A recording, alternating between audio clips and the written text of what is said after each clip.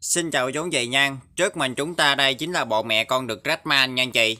Thì em sẽ quay về con đực con này ha. Con bò con này thì chân móng nè, em quan sát kiểm tra thì bốn chân đứng thẳng hoàn thiện, tất cả là móng sò nha chị. Dậu rúng thì nghiêm chỉnh ha, yếm lòng hồng giống mẹ nha chị.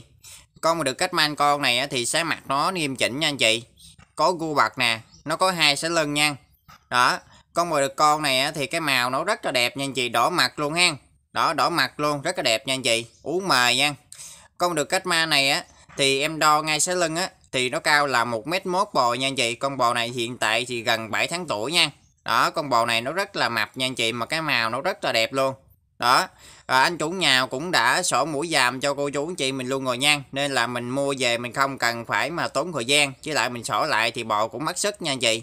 Đó, bò này cũng đã chích phòng ngừa là viêm da nó cục hết cho cô chú anh chị mình luôn rồi nha.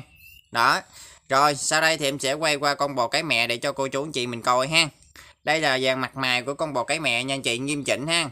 Sáu lưng cũng nghiêm chỉnh luôn, đòn dốc có nha anh chị, xương to, mông đùi đít cậy đuôi nè, hoa thì ngô đen.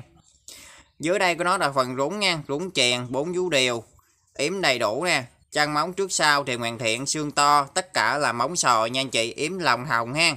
Đó. Con bò mẹ này thì em đo ngay sáu lưng á thì nó cao là 1m24 bò nha anh chị. Con bò mẹ này hiện tại thì nó đang bầu lại là bò xin được à, 5 tháng nha anh chị. Đó. Và con bò này á, thì em làm giấy cam kết cho anh chị ha là bao chữa nè, bao khám, bao lòi cho anh chị tứ đẻ luôn. Em làm giấy cam kết luôn nha anh chị.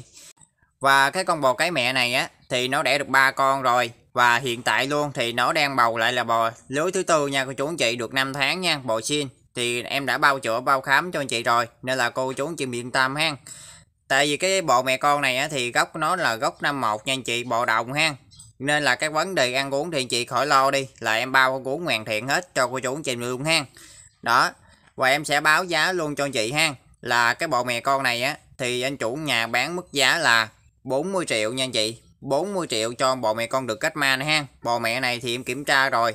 Đó trước sau thì không lan không giá hết nha anh chị xá tích nghiêm chỉnh chân móng hoàn thiện ha. Đực thì nó là màu đỏ mặt rất là đẹp nha anh chị. 40 triệu ha.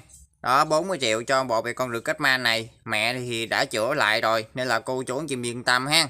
Đó, thì mong thì nếu như mà cô bác anh chị em mình muốn mua thì cứ liên hệ trực tiếp ngay số điện thoại cho em ha. Đó, còn bây giờ em chào cô chú anh chị và hẹn buổi tập tiếp theo của em nữa nha.